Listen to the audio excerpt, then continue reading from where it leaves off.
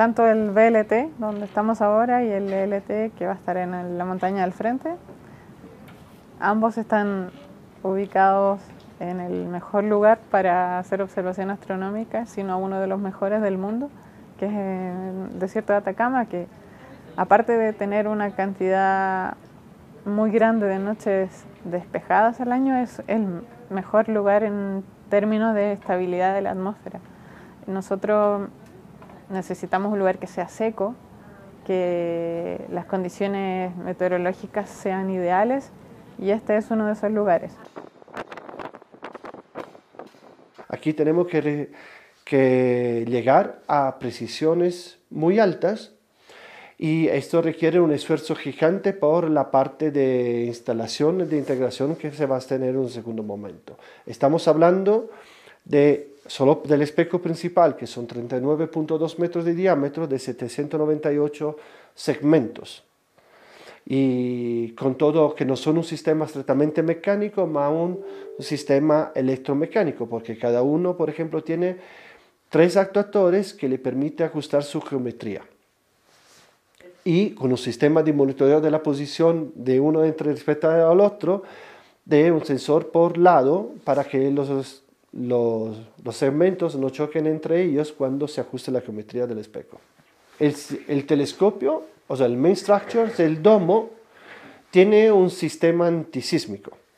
Esto porque Chile es una región uh, muy sísmica y bueno, es uno de los dos compromisos, es una de las regiones eh, mejores del mundo para la astronomía y al lo mismo tiene, tiempo tiene algún efecto de, bueno, tengo unos cuantos terremotos que ocurren durante el año.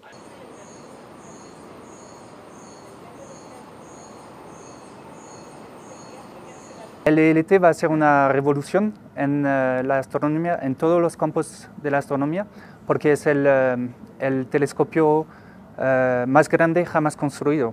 Entonces, por el momento, ahora los telescopios más grandes que tenemos, como los que tenemos en Paraná, tienen, tienen, espejos de 8 metros o un poquito más grande. El Keck en Monaquia creo que 10 metros. El ELT va a tener un espejo primario de 39 metros de diámetro. ¿Y por qué es tan importante tener telescopios más grandes? Bueno, hay dos razones. La primera es que podemos recibir más luz, entonces uh, podemos ver cosas que son uh, más, uh, que emiten menos luz. Y la segunda razón, que para mí es más importante, es que nos permiten ver más detalles. Lo más grande los telescopios, lo más pequeños son los detalles que podemos ver en el universo. Ahora, tenemos un problema, que es la atmósfera de la Tierra. Bueno, tengo la poleta perfecta para explicar el efecto de la atmósfera. Con más y más cervezas, más y más borrosas se ponen las cosas, ¿no? Bueno, la atmósfera de la Tierra es lo mismo. Con más atmósferas, uh, más borrosas se ven las estrellas y las galaxias que, que observamos en el espacio.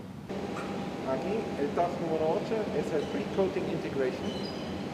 Aquí en la cama tenemos nosotros la caja azul con todos los componentes que se van a eh, en esta etapa integrar.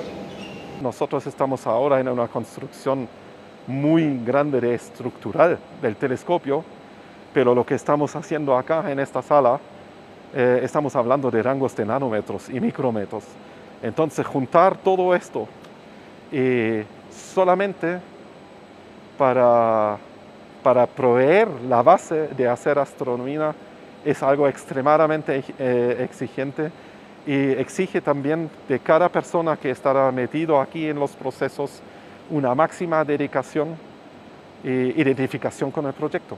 Yo personalmente pienso lo que estamos construyendo acá es el futuro, va a ser la punta de la, de la ciencia y nos va a dar piso para los próximos décadas en términos de ciencia de astronomía.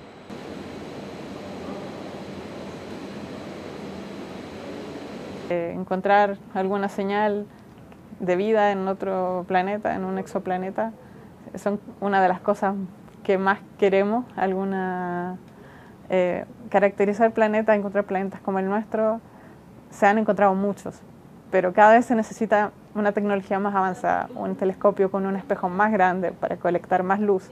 Y es por eso que cada vez eh, vamos agrandando el espejo principal de, de los telescopios que se van construyendo. Entonces ahora es tan grande que ya no se puede hacer de una pieza. Entonces por ese motivo que ahora los telescopios extremadamente grandes van a ser segmentados tal como un panal de abejas.